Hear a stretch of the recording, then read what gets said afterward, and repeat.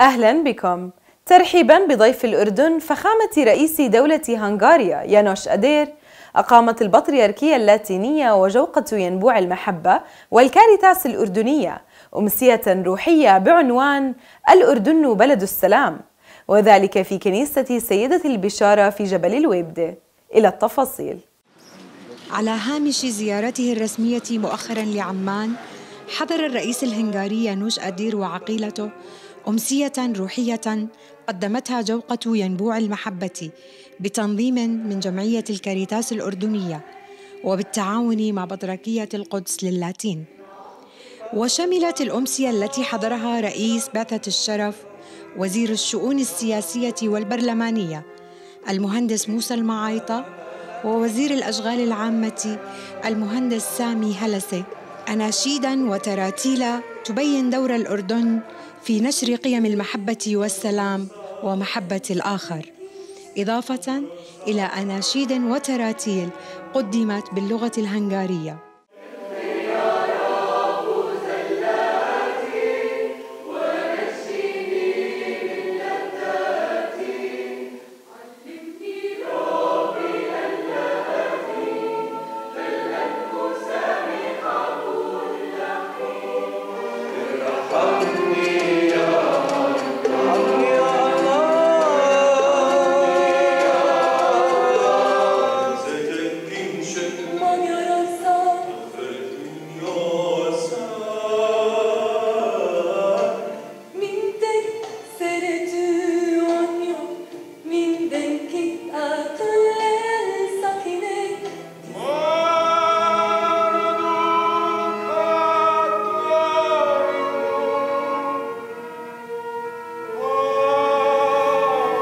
وألقى مسؤول الجوقة طعم جبارة كلمة ترحيبية بالضيف والحضور منوها على عمق العلاقات التي تجمع الأردن وهنغاريا وعمل الفريقين على حقل السلام. بالرغم من إنه هو جاي بزيارة رسمية للدولة لكن حب يكون موجود معنا آه، وقريب من المسيحيين في الأردن ومسيحيين في الشرق آه، ويحضر الأمسية.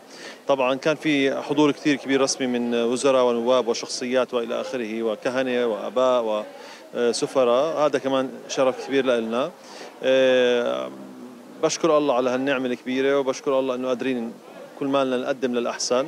وفي نهاية الأمسية التي حضرها لفيف من المدعوين من رجال الدين والدولة قدم سيادة المطران ويليام الشوملي ومدير عام الكريتاس الأردنية وائل سليمان هدايا تذكارية للرئيس الهنغاري وعقيلته.